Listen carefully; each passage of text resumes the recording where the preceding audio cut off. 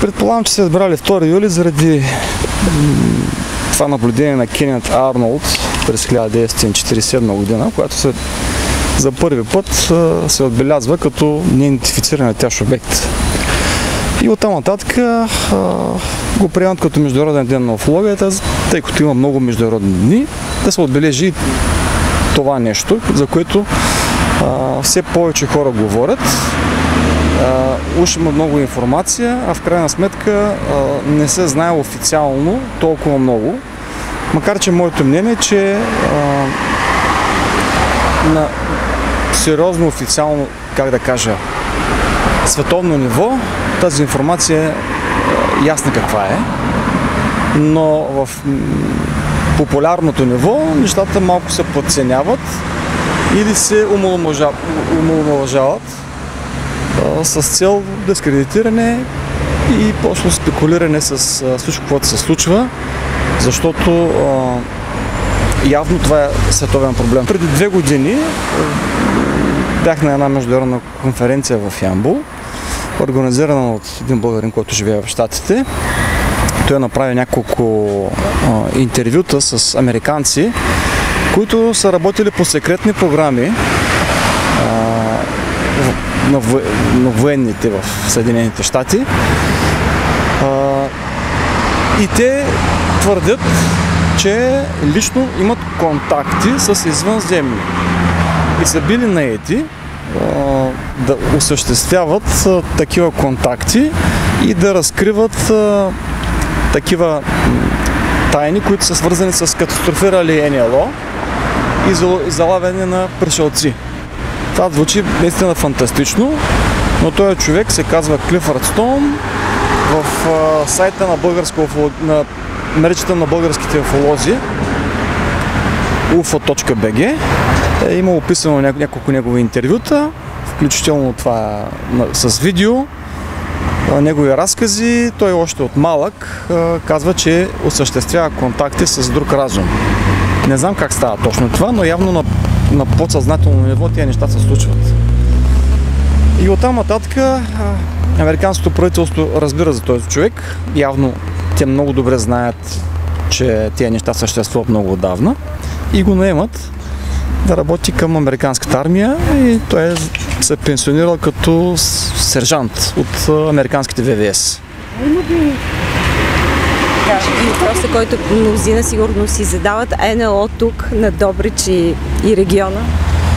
Да, ние от 1988 година, когато съществува нашия клуб Търсачи на альтернативни форми на живот, събираме информация много често имаше преди време хора, които ни информираха за тези неща. За съжаление, в момента няма хора от Добрич, поне тази година. Предните години а, имаме такива информации за наблюдение на летящи обекти в, а, на голяма височина.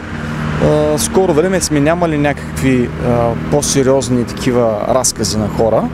Дали защото не знаят към кого да се обърнат, или защото ги е страх, че ще бъдат, как да кажа,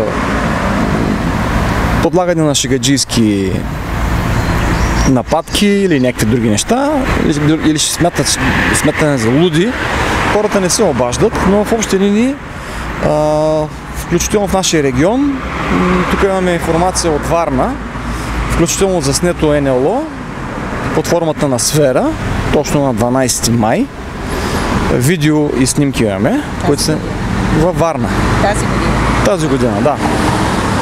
А, още така имам информация от Пловдив, за човек, който също, също е наблюдавал много внимателно такъв обект и той твърди, че много добре познава самолетите, защото там наблизо има летище и че това нещо не е самолет, това е нещо различно.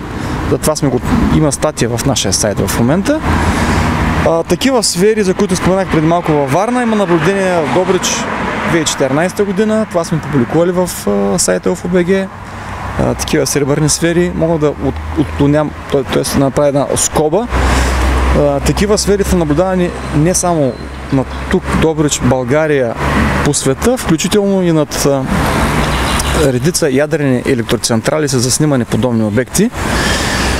Явно тия неща се случват по целия свят. В нашия сайт имаме също информация за такива сфери, които са наблюдавани отблизо от наш съгражданин, който живее в Германия и дори ги е заснел. Но за съжаление казва, че след като се опитал да разгледа видеоматериала и снимките, те са били деформирани или са били изтрити или нещо такова. Нямаме доказателства материал за това нещо. Но такива сфери явно са някакви апарати, които имат някаква цел. Сега, дали са земни, извънземни, секретна военна техника или нещо друго, ние не, ние, не можем да кажем. За нас всички обекти, които не могат да бъдат идентифицирани, като някакви познати земни летателни апарати, птици, някакви насекоми и така нататък, ги идентифицираме като НЛО, т.е. не идентифицирани летящи обекти. Като не твърдим, че това са непременно извънземни. Какво е вашето мнение? Планетата Земя населява ли се от други разумни форми на живот, освен нас, хората? Мисля, че да. Такова твърдение смея да кажа, защото на същата тази конференция преди две години в Ямбул, един перуанец, който участва в една международна група, която се казва Рама, осъществяват телепатични контакти с друг разум.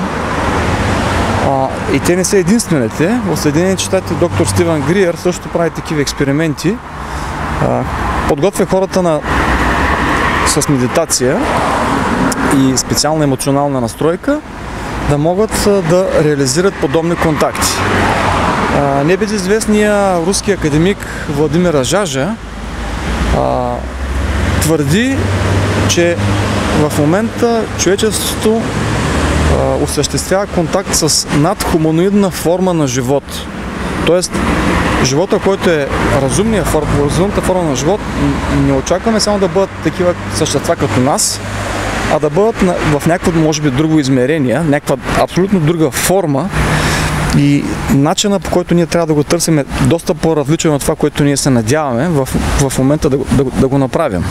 И за това може би на нас не ни се отдава възможността да реализираме всички тези неща, всички тези контакти, за които може би сме искали. Разбира се, Клифърд Стон, за който споменах преди малко, твърди, че са реализирали поне над 50 контакта с различни видове цивилизации, различни видове същества. Това говорим за реални контакти, така че да, съществува някакъв друг, друг разум, който контактува с нас, а той дали ще ни позволи ние да контактуваме с него, зависи от тях.